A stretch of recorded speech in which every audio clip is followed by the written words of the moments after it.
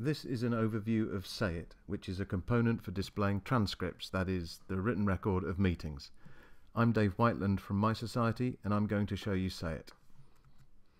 I'm going to explain why it's so useful and why we built it, and then I'll go into a little more detail about how you can use it, and then we'll have a quick look at some of the technical things you can do to put your own documents into SayIt.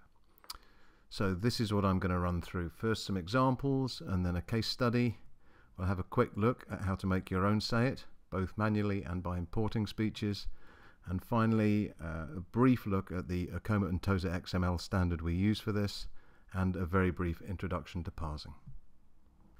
Right, let's jump right in with an example. This is the trial of Charles Taylor, former president of Liberia. And these are the transcripts of his trial where he was accused of war crimes and crimes against humanity by the Special Court for Sierra Leone.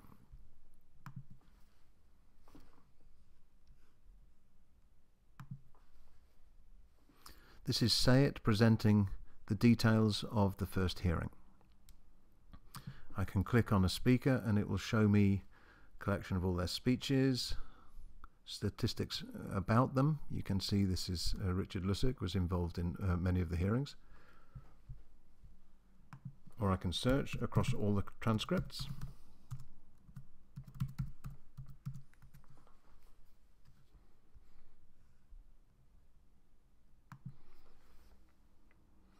This jumps into a specific mention inside one of the other uh, hearings. Here's another example. This is the People's Assembly Parliamentary Monitoring website for South Africa. The activity of the South African Parliament is recorded in Hansard, and the group running this site, PMG, take the uh, proceedings of Hansard and put them into SayIt.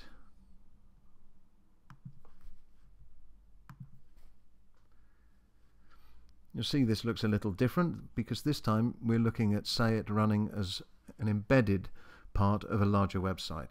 In this case, if I click on a um, speaker, it'll take me through to the page on the parent website. Right away, you might think that this is just a tiny bit boring and there are more exciting things to put on the internet than the minutes of meetings.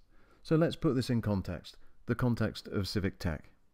It turns out that pretty much everything you can and cannot do in your life has been decided by powerful people in a meeting. Local government, parliament, courtrooms, these are all meetings whose outcomes affect normal people. You might not think about this much, but it's pretty much how the bureaucracies that we use to run our societies work. And one of the purposes of civic tech is giving citizens the ability to know about these processes. Because once you know what's going on, you can hold your representatives to account and ultimately influence or change them the old knowledge is power thing. Well, the outcomes of the meetings that shape the societies we live in are things like laws and bills and timetables, budgets, and even court verdicts or prison sentences. These are often very important things, but the process by which they happen is nowhere near as widely shared, as accessible to the people it is affecting, and certainly not as much as we think it should be. So here's a third example, and this time I'll show you the problem we're really addressing with SayIt by looking at the original document too. This is the Leveson inquiry into the culture, practices and ethics of the British press. The public hearings for this were held in 2011 and 2012. Some key things to bear in mind. Firstly, this was a parliamentary inquiry funded by public money. Secondly, although the public at the time knew the inquiry was going on, a lot of it was critical of the behaviour of the press, especially the tabloid press, which of course had no interest in reporting on it. And finally, the result of the inquiry was published as a report, but there's an important thing here. The transcripts of the whole inquiry, the actual details of everything that was said, they were also published. So I'm going to show you how the inquiry published the hearings. It's telling that actually the end result is really a paper document. Let's have a look. This is the official website of the Leveson inquiry. I can look at the hearings and pick a day that I'm interested in. For example, Thursday the 24th of November, when J.K. Rowling gave evidence to the committee. Here's the transcript of that session. Now on a pedantic level, the document is digital because it's a PDF, but it's really just paper behind glass. And let me show you what we mean when we use that term, because it's important to understand what's really wrong here. In this case, and the Leveson inquiry is especially poor because of it, you can see that there are four pages on each PDF page. This only makes sense when printed out on paper. PDF viewers know about pages, but this layout even manages to break that. It's actually a staggeringly user hostile way of laying out a document. It makes it hard to read. And that's somewhat astonishing when the purpose of producing the document in the first place ought to be to let people to read it. It turns out it's a hostile way to lay out a document from a machine reading point of view too, because it makes parsing it harder, although these transcripts were also made available as text files. Now notice the line numbers. That's an attempt to allow deep linking, because you can refer to any utterance by quoting its page and line number. Again, that makes sense on paper. Well, it would if page really meant anything in this case. And in fact, it's a successful medieval technology, and it's been done this way in Bibles for over a thousand years. But the important, important point here is that this is a form of deep linking in a technology that does not support it. You can't link directly to a place within the PDF, and in fact, even if you know the page and line number, you still can't jump there using PDF's mechanism for page or search. The whole thing basically prevents digital linking, which on one level is just annoying, but from a civic tech point of view, it's actually a real way to lessen the usefulness of this document, because if you can't deep link, you can't cite, you can't share, you can't show specific utterances. You can only refer to the whole document. And that pretty much stops details in a document being called out in debate, in social media, or in any sensible way online. So here's what we did. We parsed that PDF, isolated every speech, identified each speaker, and recorded how it was all linked together, and put that into a database. SayIt can then reconstruct that structured data to produce the pages of the website that you're looking at now. This is SayIt's presentation of the Leveson inquiry. I can look at the session we were just looking at. This time you see it's uh, clearer, easier to read, broken down by speaker. Of course, I can investigate the individual speakers' contributions. But perhaps more usefully, and a key point, is that this supports deep linking. If I get the link in context, you can see there is a URL here which I can share, which will drop somebody into the document at the utterance that I'm interested in sharing, or here directly just, just to the speech. And of course, with this I can share it in Twitter, on Facebook, in blog posts, in newspaper articles. So now you have a good understanding of what SayIt is doing and why it matters. Let's start with a simple example of making your own Say SayIt site. mySociety currently runs a hosted version, which means you can add a Say SayIt site, which we sometimes call an instance, without needing to worry about installing the software yourself. So here I'm going to create a new site. I'm already logged in.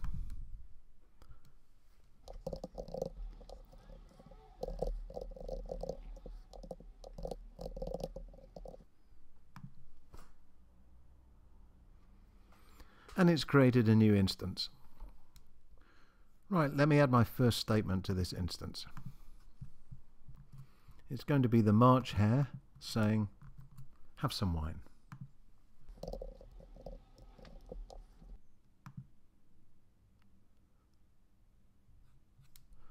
You'll see that SayIt has created the speaker, so I can edit to give a little more information. For example, I've got a picture of, uh, of the hare.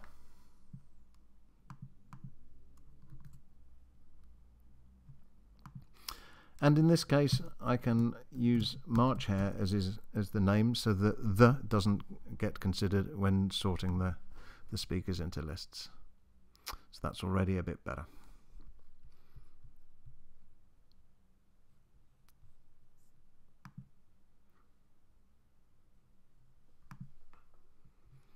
actually I can add a section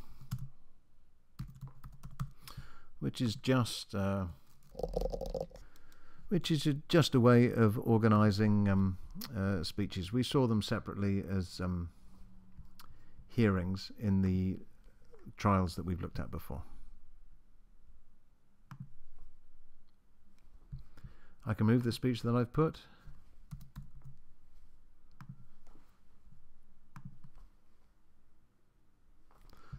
So here we go.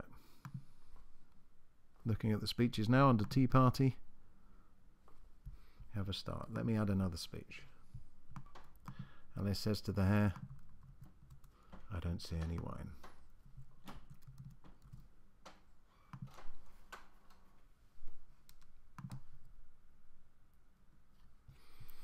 I can add a picture for Alice.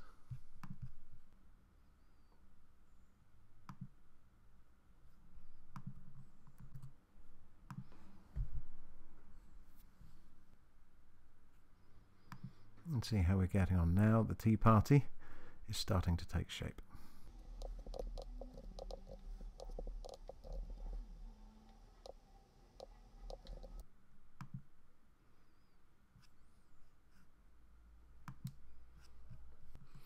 and you can see I can build up um, the transcript of the meeting in this in this way and now obviously this is quite a laborious way of doing it so let's have a quick look to see what we've ended up with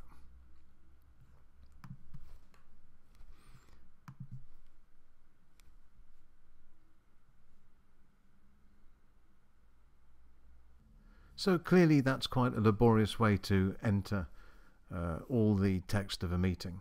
And although there are advantages to doing it that way, um, you could crowdsource, for example, you can nominate other people uh, who you're going to give right access to your transcript so they can work on it at the same time.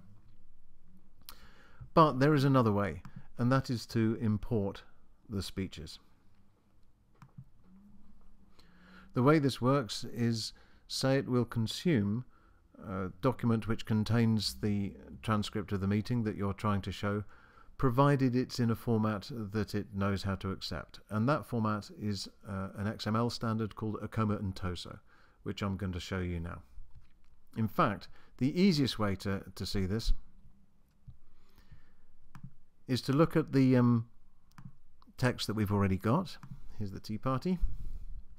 And actually, SayIt will expose the underlying XML. This is the Akoma Ntoso XML format of the Tea Party. You can see at the top, the whole thing is wrapped in a debate tag. There are references to each of the speakers, which you can see here are given an ID. There are four. I've added the Dormouse as an extra one. And then within the debate body, you can see each speech is credited to an ID which matches one of the IDs in the reference section at the top. So if you're familiar with XML, this won't seem very complicated. And if you've seen any HTML, you'll recognize some of what's going on inside as well. So really, in order to um, populate a SayIt, the challenge is to get your speech document into this XML format. Now we're using Akoma Ntoso because it's an open standard that is um, increasingly widely used in parliamentary and legislative documents.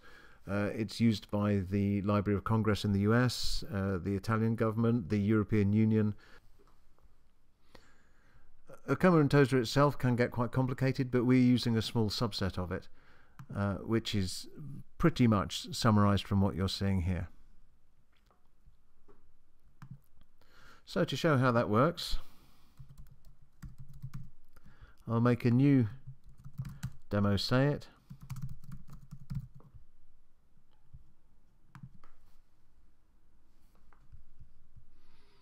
I'll uh, import the speeches. It wants to know a source of uh, Akoma Ntoso, so let me use this URL. So I'm actually importing uh, the speech for the point of demonstration from another site.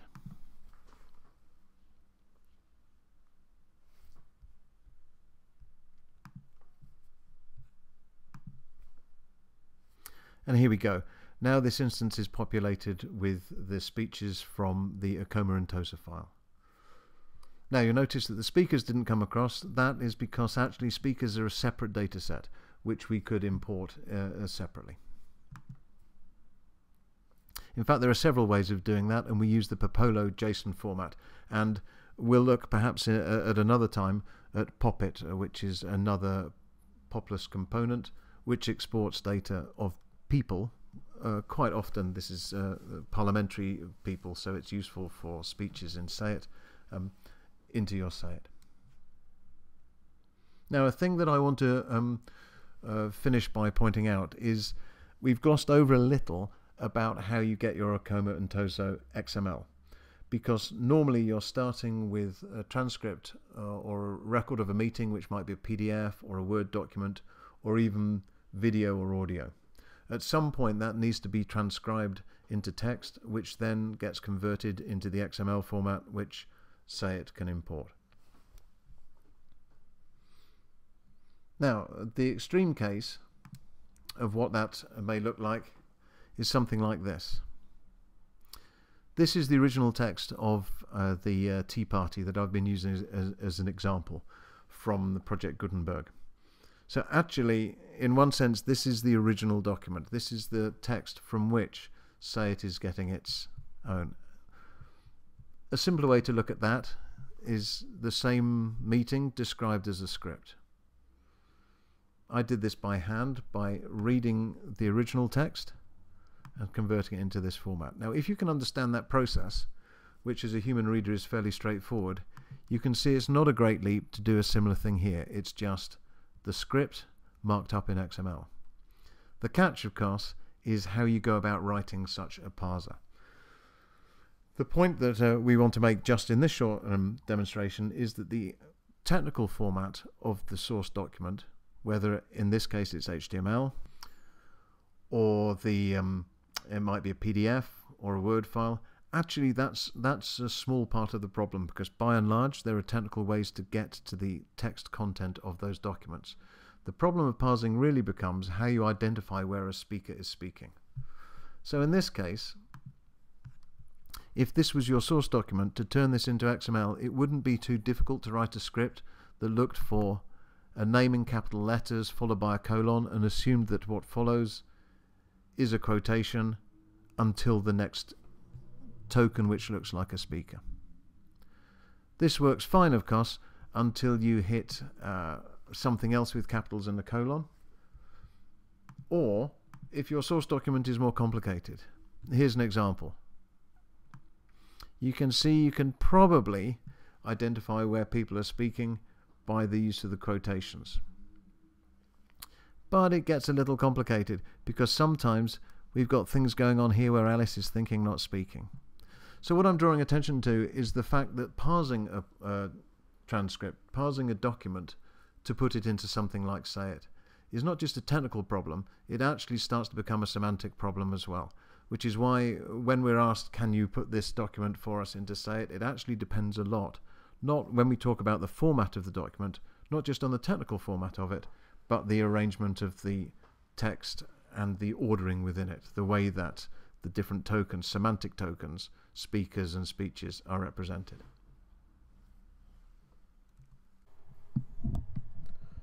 So that's it. SayIt is free software for presenting transcripts of meetings online. We'll host it for you, but if you prefer, you can install it yourself. Instructions for that are on the project website.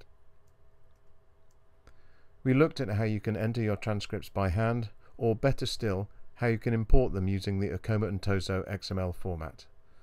And we also briefly looked at parsing, and how when you're turning your document into the XML format, this can be straightforward or complicated depending on the nature of the document you're starting with. If you have any questions, please join the Poplus group and ask on the mailing list. We look forward to welcoming you.